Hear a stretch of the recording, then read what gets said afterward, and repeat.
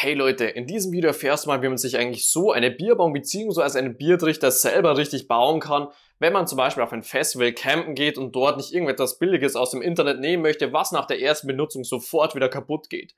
Wenn du also Bock darauf hast, dann bleib auf jeden Fall dran.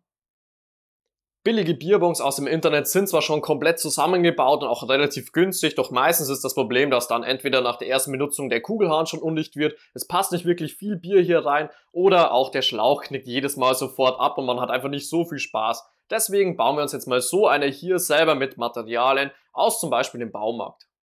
Schauen wir uns zuerst einmal die Einkaufsliste an. Zuerst brauche ich einen normalen Trichter mit einem Durchmesser von mindestens 20 cm. Hat einfach den Vorteil, dass dieser Trichter hier relativ groß ist. Es passt natürlich auch ordentlich Bier hinein und vor allem auch der Schaum, wenn etwas hier drinnen bleibt, dass dieser nicht sofort überläuft. Mein Trichter hat jetzt genau 20 cm und ist wirklich perfekt geeignet, finde ich. Als nächstes brauchen wir mal noch einen normalen PVC-Schlauch in den 25 bzw. 1 Zoll und dieser sollte mindestens 1,2 Meter lang sein. Hat einfach den Vorteil, dass wenn von der Größe her ist natürlich der Durchfluss relativ gut und es passt bei der Länge auch wieder ordentlich Bier hinein und man verschüttet nicht so viel. Den 25 bedeutet übrigens Innendurchmesser von 25 mm und wir haben hier auch noch eine Wandstärke von jeweils 3 mm. Bei so einer großen Wandstärke ist der Vorteil, dass der Schlauch nicht so leicht knickt, wie es bei Billigmodellen einfach oft der Fall ist. Da unser Schlauch hier insgesamt einen Außendurchmesser mit der Wandstärke von 32 mm hat, benötigen wir jetzt mal noch drei Schlauchscheiben mit einem Durchmesser von 20 bis 32 mm. Diese schauen so aus, werden hier einfach draufgestülpt und anschließend festgezogen und somit ist die Verbindung nämlich auch schon ordentlich dicht. Wenn wir jetzt auch unsere drei Schlauchstellen haben, benötigen wir mal noch einen Kugelhahn in DN20 bzw. 3 Viertel Zoll und zwei solche Schlauchtüllen hier mit einem Außengewinde von 3 Viertel Zoll und hier vorne einen Anschluss für den Schlauch von 25 mm. Falls du dich jetzt fragst, warum ein Kugelhahn von 3 Viertel Zoll und nicht 1 Zoll, wenn man hier einmal durchschaut, durch unseren Schlauch, der wo jetzt schon auf dem Kugelhahn drauf ist, können wir sehen, dass der Querschnitt nicht wirklich kleiner wird und 1 Zoll einfach zu groß wäre.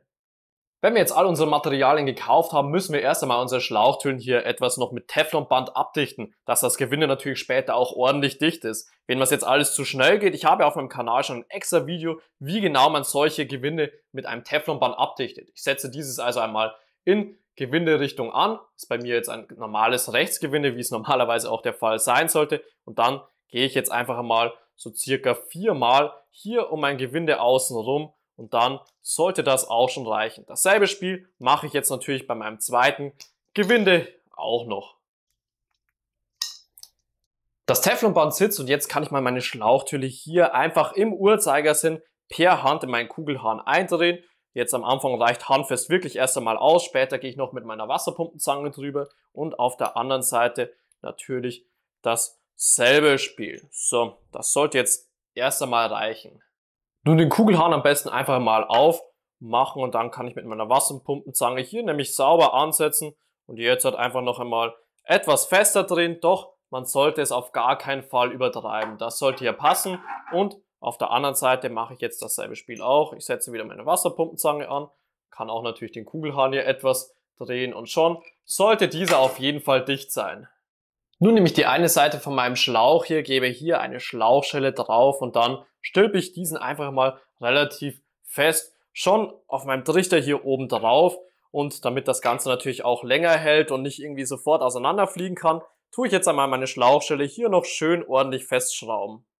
Diese habe ich jetzt mit einem normalen Kreuzschraubendreher relativ festgezogen und somit ist die erste Verbindung auch schon schön fest.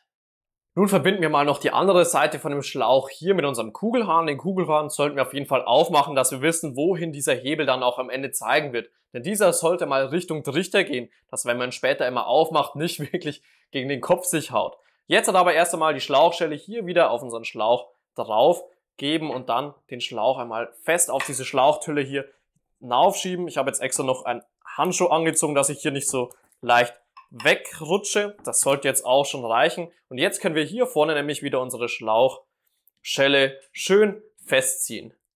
Diese ist jetzt auch schon fest, weswegen wir unseren Trichter jetzt eigentlich schon richtig verwenden könnten. Es gibt jetzt auch noch die Möglichkeit, dass wenn du sagst, die Schlauchtülle hier vorne ist als Mundstück nicht wirklich geeignet, nicht angenehm, dass man sich einfach noch ein Schlauchstück abschneidet, entweder so kurz oder 15 bis 20 Zentimeter, dieses hier vorne drauf gibt und natürlich auch nochmal mit einer Schlauchschelle festschraubt. Und somit hat man dann hier vorne als Mundstück auch noch einen Schlauch. Und dadurch haben wir jetzt auch schon unsere Bierbong bzw. unseren Biertrichter richtig zusammengebaut und ich würde sagen, das nächste Camping bzw. Festival kann auf jeden Fall kommen. Wenn du dir jetzt die ganzen Materialien hier kaufen möchtest, wie erwähnt, würde ich einfach mal in den nahegelegenen Baumarkt fahren. Hier sollte man normalerweise alles kriegen, außer vielleicht so einen großen Trichter hier. Den kann man im Notfall aber auch nachträglich noch einfach auf Amazon zum Beispiel kaufen. Und wenn du jedoch sagst, dass es dir das ganze Geld einfach nicht wert ist für so eine hochwertige Bierbong und du möchtest einfach etwas günstiges, billiges haben, was man nach einmaliger Benutzung sofort wieder wegschmeißen kann, dann kannst du diese natürlich auch auf Amazon schon komplett fertig kaufen. Der Link hierfür ist einfach hier unten drunter in der Videobeschreibung. Wenn dir das Video gefallen und somit auch weitergeholfen hat, würde ich mich natürlich über einen Daumen nach oben freuen. Außerdem kannst du hier oben meinen Kanal kostenlos abonnieren, um kein neues Video mehr zu verpassen. Und hier unten drunter gerne einmal ein Problem bei dir zu Hause in die Kommentare schreiben, wofür du einfach noch keine richtige Lösung gefunden hast.